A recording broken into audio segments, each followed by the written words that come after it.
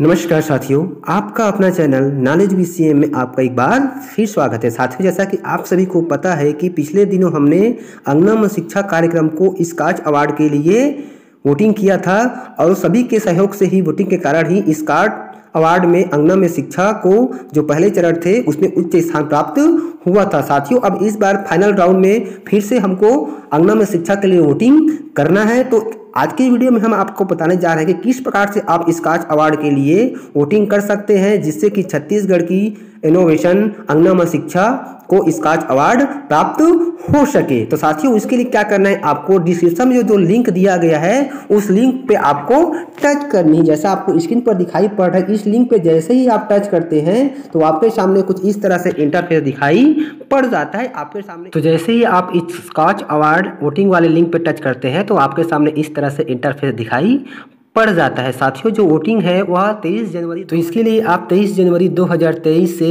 प्रातः 10 बजे से लेकर के 27 जनवरी 2023 शाम सात बजे तक वोटिंग कर सकते हैं। इसमें वोटिंग कोई भी कर सकता है। तो आपके सामने इस तरह से पेज ओपन होता है। जैसे ही पेज ओपन होगा तो यहाँ पर देखिए, आपके सामने इस तरह से स्क्रीन दिखाई पड़ता है, जिसमें स्टार लगा हुआ है। वह रिक्वायर फ़ील्ड है।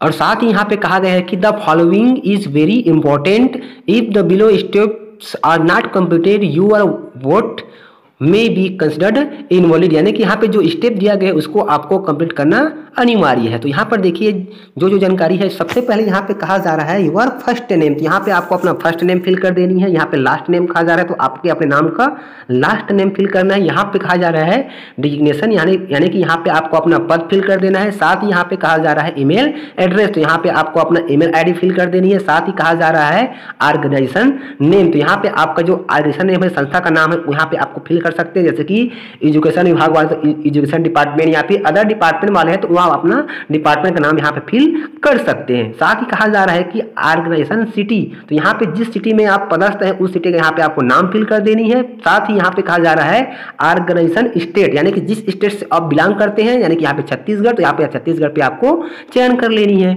उसके बाद नीचे स्कॉल करके जैसे ही आप आते हैं तो यहाँ पर देखिए आपको मोबाइल नंबर पूछा जा रहा है तो यहाँ पे आपको अपना दस अंकों को वैलिड मोबाइल नंबर फिल कर देना है। तो चलिए यहाँ पे जो भी जानकारी दी गई है, उसको हम पहले फिल कर लेते हैं।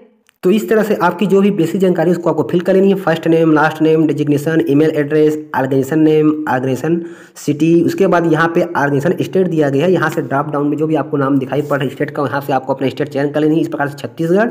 उसके बाद आपको इस कॉल करके नीचे आ जानी है। यहाँ पे आपको मोबाइल नंबर पूछा जा रहा है तो यहाँ पे आपको अपना दस अंकों को वैलिड मोबाइल नंबर फिल कर देनी है। फिर यहाँ पे देखिए, आपको दिखाई पड़ रहा है लिस्ट ऑफ़ प्रोजेक्ट्स यहाँ पे जितने भी प्रोजेक्ट नॉमिनेट है स्कॉच अवार्ड के लिए वो आपको यहाँ पे सूचीबद्ध दिखाई पड़ जाता है। इसमें आपको इस कॉल करके इस तरह से नीचे को आ जानी है और यहाँ पे आपको अंगनम शिक्षा स्टेट प्रोजेक्ट ऑफ़िस समग्र शिक्षा छत्तीसगढ़ को आपको ढूंढना है। ढूँढने के बाद आपको उसी के ऊपर इस तरह से क्लिक कर देनी है, सेलेक्ट कर देनी है इस प्रकार से। जैसे ही सेलेक्ट कर लेते हैं, उसके बाद फिर आपको इस कॉल करके नीचे आ जानी है।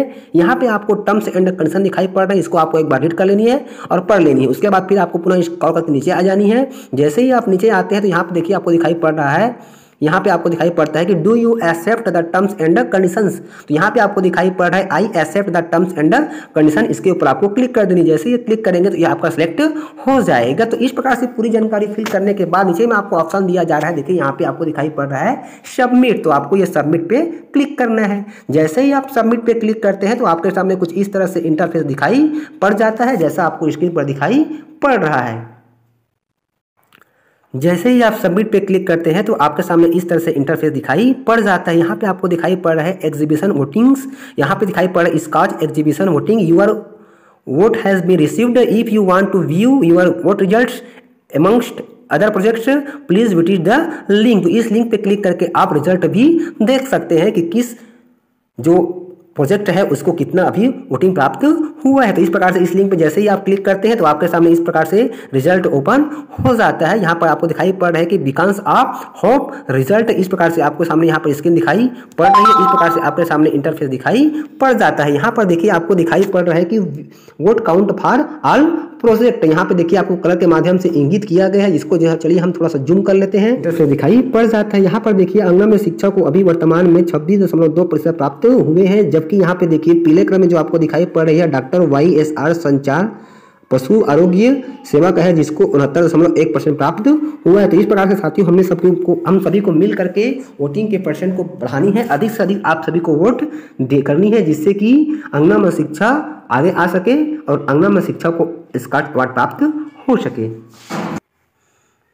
साथियों, ये गर्व की बात है कि आप सबके सहयोग से ही अंगना शिक्षा कार्यक्रम स्काच अवार्ड के पिछले चरण में उस स्थान पर था। उसी प्रकार अब इसका आखिरी चरण आ गया है, जिसमें आप सबके सहयोग की अपेक्षा करते हुए यह लिंक आप सभी को भेजा जा रहा है। यह जो लिंक है, आपको डिस्क्रिप्शन में मिल जाएगा और कृपया इस लिंक के माध्यम से आप अधिक से अधिक वोट करना है और इस कार्यक्रम को आपको सर्वोच्च स्थान दिलाना है। साथियों, इस बार जो वोटिंग की प्रक्रिया है, वह बहुत ही सरल है। पिछले बार की अपेक्षा बहुत ही सरल है, क्योंकि पिछले बार तो उसमें बहुत ज़्यादा जटिल कर दिया गया था, इस बार ऐसा कुछ जटिल नहीं है तो आप अधिक से अधिक वोटिंग कीजिए और साथ ही अपने जितने भी साथी है, परिवार है, दोस्त है, सभी से वोटिंग कराइए।